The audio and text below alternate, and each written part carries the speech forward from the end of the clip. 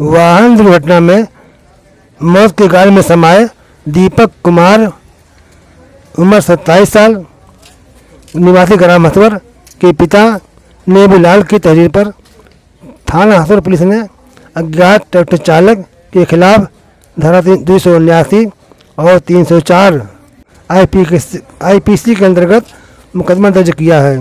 थाना प्रभारी प्रमोद कुमार सिंह ने बताया कि चालक और ट्रैक्टर चालक का पता लगाया जा रहा है।